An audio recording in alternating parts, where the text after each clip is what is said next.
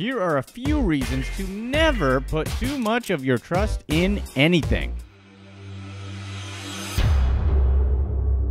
Number 9. Hoover's free flights. In 1992, the Hoover Company came up with what they thought would be a brilliant marketing campaign. Hoover's British division was approached by a now defunct travel agency called JSI Travel with an idea. The idea was to offer two free return flights to Europe with every purchase of any Hoover product worth more than £100, all arranged through this travel agency. Those who tried to redeem the flights had to jump through many hoops to actually get the tickets, and the agency would attempt to upsell additional services such as travel insurance and hotel packages. JSI Travel also thought it would provide a long term benefit for their small company as it would introduce tens of thousands of people to their travel agency services. Initially, the campaign seemed like a success as the surplus inventory began to go down, and not that many customers actually used the vouchers at first. But Hoover decided to expand the offer to include destinations in the US. Bad idea, because at this point the consumer response increased enormously as Hoover was offering around 600 pounds worth of airline tickets for a purchase minimum of just 100 pounds. Who approved this marketing idea? Some customers paid for the appliances and then just left them in stores because they didn't even really need it. Overall, the 30 million pounds in increased sales that the promotion attracted was completely dwarfed by the 50 million pounds it cost to pay for all the airline tickets. And that's not counting legal settlements against Hoover for trying their best to not honor their end of the bargain on the tickets. Number 8. Rare diamonds. How many of you guys know that the diamond engagement ring came to be only because back in 1938 De Beers decided that they wanted to sell diamonds at a higher price? Simple as that. Prior to a stunningly successful marketing campaign in 1938, Americans occasionally exchanged engagement rings, but it wasn't a traditional occurrence. De Beers masterfully created demand for diamonds by hiring a marketing agency that eventually created a campaign called A Diamond is Forever, which became the official motto for De Beers. Not only is the demand for diamonds just a marketing invention, but diamonds aren't actually that rare. However, the diamond is the most popular gemstone. The myth that diamonds are rare continues to be believed by so many. The thing is, De Beers controlled most of the diamond supply until around the year 2000. They had created an artificial scarcity by limiting the amount of diamonds that were listed on the market. The result? Well, by 1979, De Beers diamond sales in the US had reached over $2 billion, compared to only 23 million in 1939. That's almost a hundred times more in only 40 years. The industry banks on the fact that you won't go selling your diamond ring because, as the motto states, diamonds are forever. Number 7.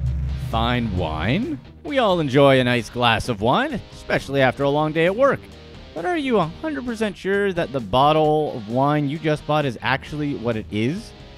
Wine industry experts say that approximately 1 in every 20 bottles of fine wine sold today is actually not fine and is merely a relabeled cheap wine. Of course, unless you happen to be a vintage wine collector, that likely isn't a concern for you. In the vintage wine collecting world, bottles are traded and sold for many thousands of dollars. Even so, wine scams certainly can trickle down to the ordinary consumer. In a recent famous case, one of California's biggest producers was duped into buying bulk quantities of French Blanc, otherwise known as cheap wine, which it unknowingly bottled and resold under a popular label on supermarket shelves. Also, it's not unknown for unscrupulous growers to water down wine or add ingredients to increase alcohol or sugar content. The trouble is that unless you're a wine expert, you're not going to notice the difference. Maybe it doesn't matter in the end, but hey, we should get what we pay for, right? Number 6. VW Shenanigans. Volkswagen's clean diesel engine ad campaign had sought to educate the public on misconceptions about diesel powered vehicles. One ad in the popular Old Wives' Tales campaign took issue with the notion that diesels spew more airborne pollutants than their gasoline powered counterparts. The quote unquote misconception diesel is dirty.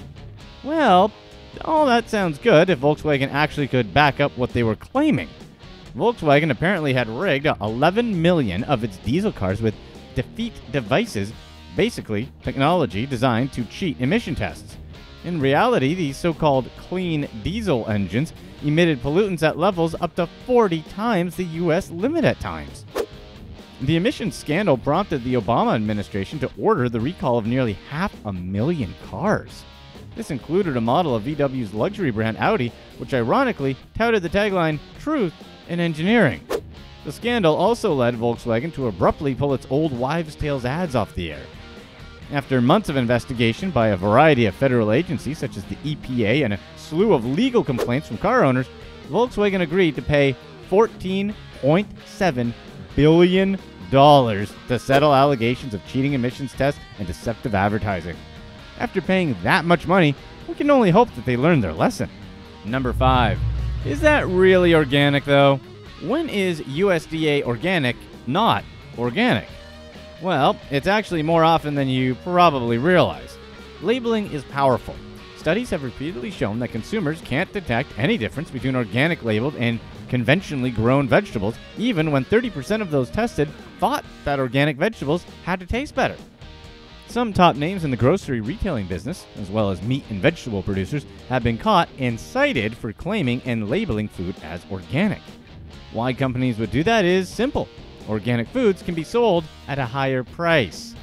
Real organic foods don't actually cost more to produce, but if you sell something as organic that isn't, well, that's just wrong.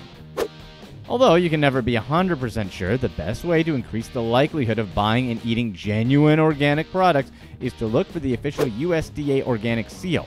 This signifies a product has at least 95% organic ingredients. If the product is 70% organic, the label can say that it's made with organic ingredients, while anything less than 70% can simply state organic ingredients. Somehow, there's no actual designation for 100% organic ingredients. Number 4. Coverage maps. You know those commercials when cell phone companies would show us those coverage maps that they had versus their competitors every chance they got? Those exact coverage maps are really just ways to avoid giving you any actual numbers. Even when a cell phone ad features legitimate statistics, chances are they were pulled from a study that the company itself commissioned. But no matter how they paint the country, it doesn't count as lying, and it works, because essentially, the vast majority of us have no idea how things really work. Sure, most of us know that cell phones send signals to towers and internet access works by connecting us to servers, but do you know how many cell towers you have in your area or who they belong to? When your phone drops a call, do you ever know why? Because the truth is, no matter who you pick, the service is going to be patchy because of a whole bunch of limitations that are impossible to predict. Number 3. Bangladesh Factory Collapse. The 2013 Savar building collapse, otherwise known as the Rana Plaza collapse, was an unfortunate building collapse that took place in Bangladesh. When the eight story commercial building collapsed, over 1,100 people passed away in the accident. It's considered the deadliest structural failure accident in modern human history. A court in Bangladesh formally charged 38 people with murder. The owner of the building was arrested after a four day manhunt, apparently trying to flee across the border to India. There were several direct reasons for the building collapsing. First, the building was built on a filled in pond, which compromised the structural integrity. Second, the building was converted from commercial use to industrial use, and in doing so, there were three additional floors added above the original permit. If all that wasn't enough, the use of substandard construction material led to an overload of the building structure aggravated by vibrations because of the use of generators. You would hope that you can set foot in a building and have trust that it's safe to be there. Unfortunately, that's not always going to be the case in developing countries. Number 2. Vibrams Health Benefits. Vibram was essentially the driving force behind the recent barefoot or minimalist running trend. Vibram advocated that this style of running made athletes less prone to injury, more efficient, and have strengthened muscles in the foot and lower leg, muscles that were otherwise made soft and ineffectual by modern cushy running shoes. Well, supposedly, anyways. Whether running barefoot is actually superior to using normal running shoes is something that's probably still up for debate. However, what Vibram claimed is not. Early studies showed that running barefoot could reduce impact in areas such as the knees that are prone to strain. However, later studies found that the strain simply shifted to other parts of the leg and foot. Barefoot running isn't necessarily better, it's just different. This is why Vibram ended up having to settle a class action lawsuit that accused them of making false and unsubstantiated claims about the health benefits of its Vibram Five Fingers footwear. The company had to pay out settlements to class members and had to remove claims that its products either strengthen muscles or reduce injuries. Sprinting is great for cardiovascular health. Number 1. Glass bridges. Glass bottom structures have grown increasingly popular in China, although many tourists may be rethinking their journey across glass bridges after a recent incident. First of all, there's a glass walkway that pranks tourists with some fake cracking glass. However, sometimes glass does crack for real. A brand new glass walkway, suspended 3,500 feet above a canyon, opened recently in central China, all to impress visitors and create a new adventure for thrill seekers to enjoy. But once a glass bridge starts cracking, it's probably not an adventure you'd still want to sign up for. Unfortunately, that's exactly what happened with this bridge. The 1,300 foot long glass bottom walkway was built along Yuntai Mountain Scenic Park in Henan Province, China. The cracking was caused by a sharp object falling onto the glass. Luckily, no one was hurt or actually in any danger. The bridge had several layers of one inch thick glass, each of which can support over 1,700 pounds per square meter, and the bridge was officially declared safe. But hey, a crack is a crack, and it was enough to scare visitors away. I mean, would you trust just an official declaration? Here's what's next. In January 2017, someone on Reddit posted a picture of the sole of the boot right beside of a picture with imprints that look like swastikas. Well, as you can imagine, the internet did that thing it does where it makes something go viral and everyone has fun with it. At the expense of the company, of course. Now, to be fair, the California based company